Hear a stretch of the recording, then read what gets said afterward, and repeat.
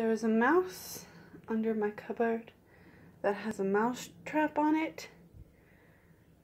And it's still alive.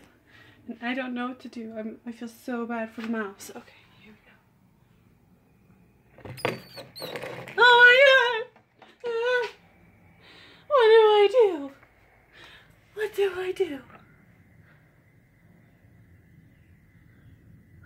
Okay.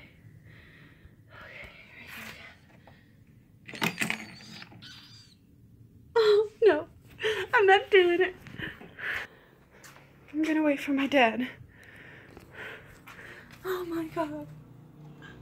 That poor little mouse. I'm so sorry. It's under